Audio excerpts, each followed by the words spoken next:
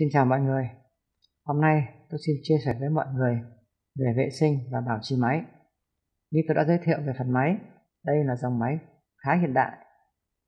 Về cấu tạo, máy có hai phần, phần cơ và phần điện điện tử. Nên chúng ta cần vệ sinh, bảo trì đúng cách và kịp thời để máy bền lâu. Mục đích của chúng ta là phải phòng ngừa hư hỏng của máy, do đó việc vệ sinh máy sạch sẽ tra dần nhất đúng cách, đúng chỗ, đủ lượng là cần thiết. Tôi sẽ tiến hành tháo phần ổ trao suốt dưới để vệ sinh. Trước hết, tôi hạ chân vịt để dễ tháo kim. Chúng ta có thể để điện hoặc chúng ta có thể là tắt điện. Nếu để điện thì chúng ta phải hạ chân vịt xuống để an toàn.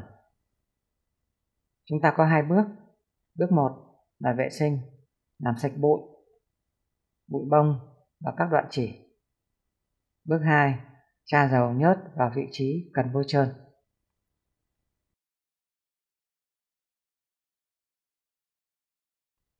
Tôi sẽ mở các vít để tháo các cái nắp trên ra. Ta dùng dụng cụ mở nhẹ nhàng.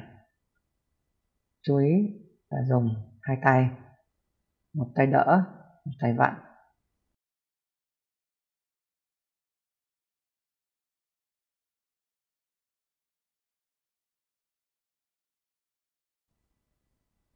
nới lỏng, cả ba vít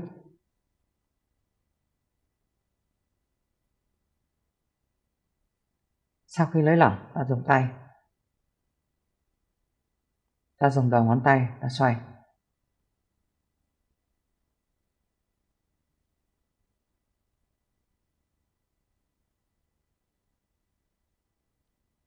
Vít rất nhẹ, nên chúng ta không cần phải vặn bằng dụng cụ. Sau khi mở vít xong thì chúng ta lấy các cái nắp ra.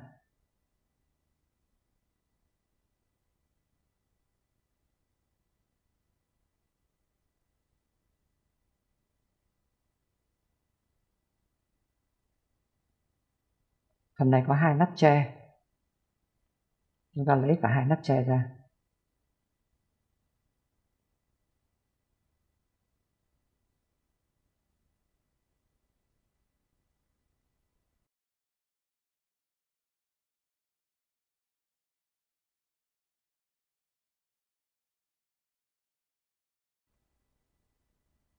Sau đó ta lấy trao và xuất chỉ ra ngoài.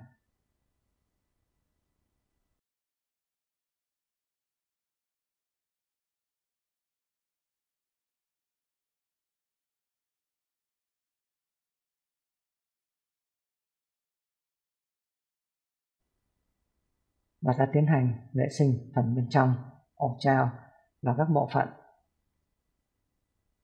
ở phía dưới máy.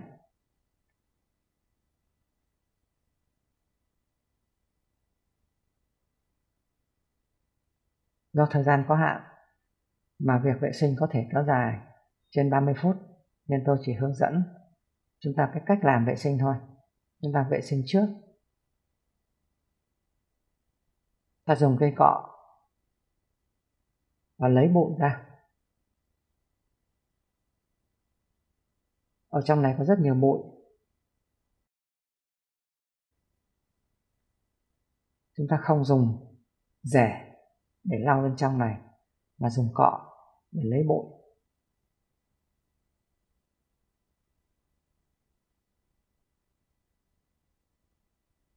Chúng ta chú ý là làm nhẹ nhàng và làm kỹ.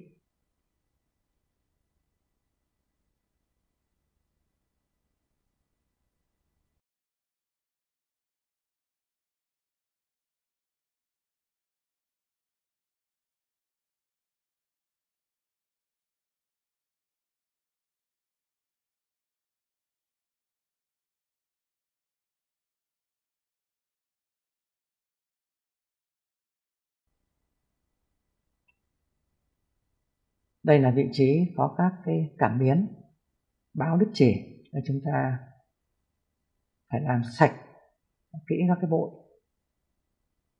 để cảm biến nhận dạng được trên đất và tắt máy.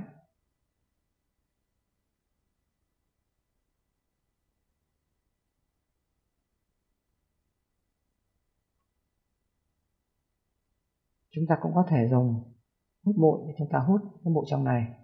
Tuy nhiên, vì cái phạm vi nhỏ nên sử dụng hút bụi cũng hơi khó. Đây là những cái đầu chỉ. Cái đầu chỉ thừa rớt đầu chỉ thừa rơi trong máy. Chúng ta cũng phải lấy ra hết.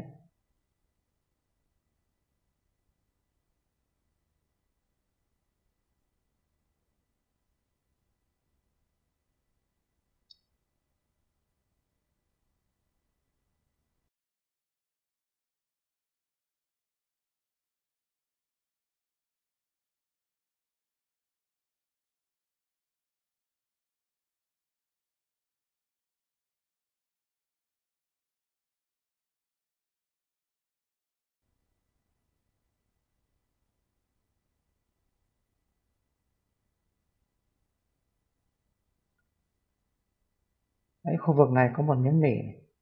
Tại khu vực này có miếng nỉ chùi chỉ để chúng ta chú ý làm sạch.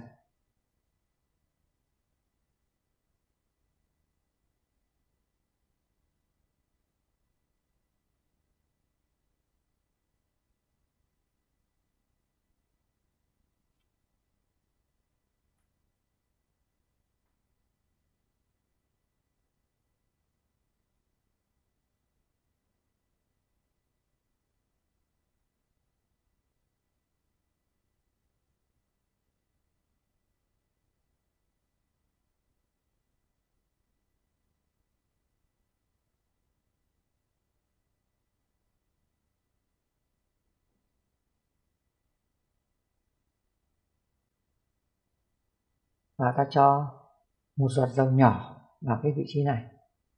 Một giọt dầu nhỏ bằng một hạt gạo. Đúng một vị trí thôi. Không cho sang các vị trí khác. Sau khi tra dấu xong, chúng ta xoay nhẹ vô lăng của máy để cho trục máy quay, dầu sẽ thấm xuống dưới. Ở đây chúng ta chỉ vô trơn bề mặt trục thôi còn phần bánh răng ở dưới, phần nhông ở dưới sẽ được bôi trơn bằng mỡ. Tiếp tục chúng ta vệ sinh.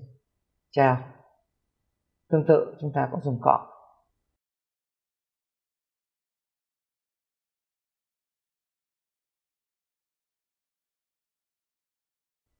Không nên dùng vải.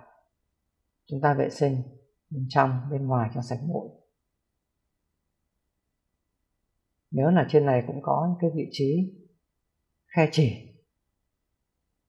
Chúng ta chú ý cái chỗ vị trí khe chỉ để chúng ta làm sạch bằng một cái dụng cụ đặc biệt. Đây là cái phần miếng nỉ để trải chỉ, làm sạch bông và những bụi bẩn dính trên chỉ. Chúng ta cũng cần vệ sinh kỹ.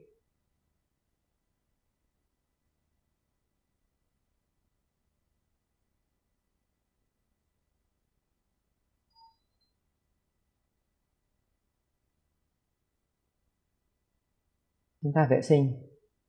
Cái khe chỉnh chỉ của trao. Chú ý ta làm kỹ và làm nhiều lần.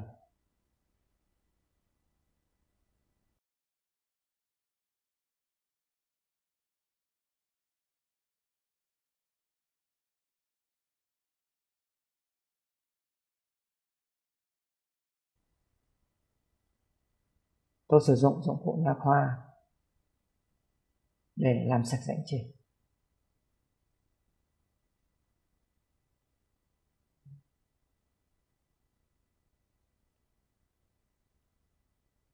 sau khi làm sạch xong, chúng ta gắn trao vào máy, chú ý gắn đúng dấu.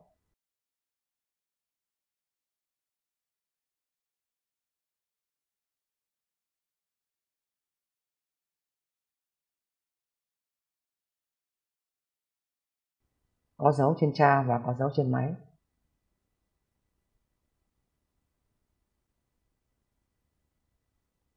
Sau khi gắn vào, chúng ta chú ý là xoay nhẹ để cho trao trượt nhẹ trên ổ, không bị kênh, không bị nghiêng. Và ta xoay ngược trên kia đồng hồ đẩy hết trao sát với cái cạnh của ổ trao. Sau đó chúng ta vệ sinh, nắp máy.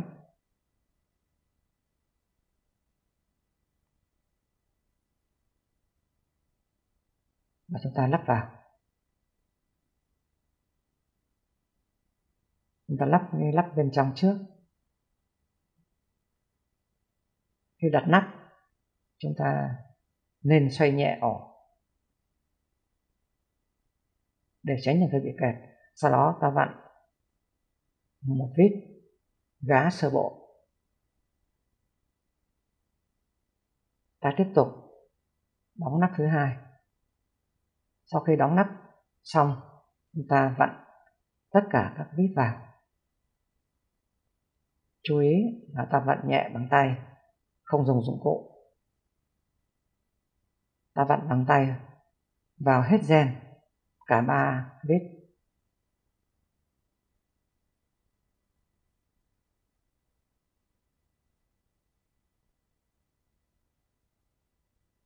Ta dùng đầu ngón tay để ta xoay.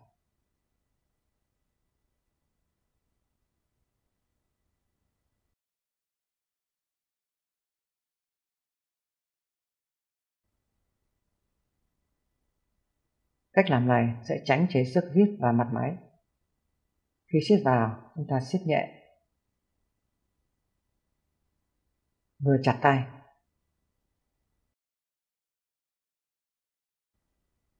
Không cần thiết phải dùng lực để siết mạnh. 3 vít nó có chức năng tự định vị nên chúng ta yên tâm. Vận như vậy là đảm bảo.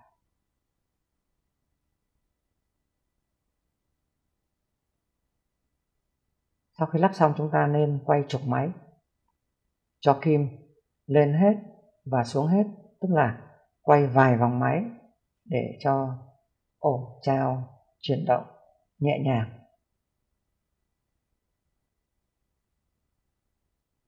Nếu thấy ổ trao chuyển động nhẹ nhàng là được. Sau đó ta lắp rút chỉ và lắp cái nắp nhựa cuối cùng.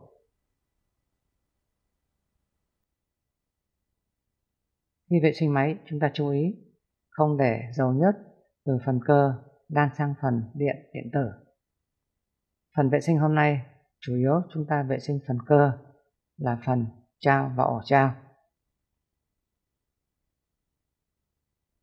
Chỉ duy nhất một vị trí ổ trục là vị trí cần cho dầu nhất.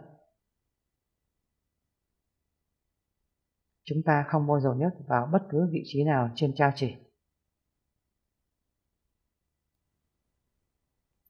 Để bảo trì toàn máy, tôi sẽ có một số video chia sẻ sau. Trước hết và thường xuyên phải làm là vệ sinh bên ngoài máy và bên trong ổ trao. Phần bên ngoài máy, nói chung là mình phải luôn giữ máy sạch sẽ, che bụi cẩn thận.